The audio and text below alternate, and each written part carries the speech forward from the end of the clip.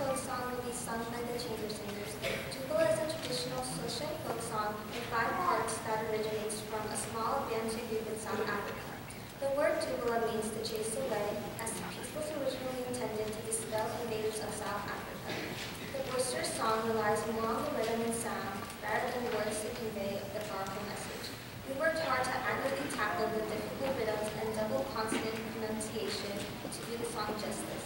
Music and dance are not separate words in many South African languages, so this song is supposed to invoke spirited movement. So without further ado,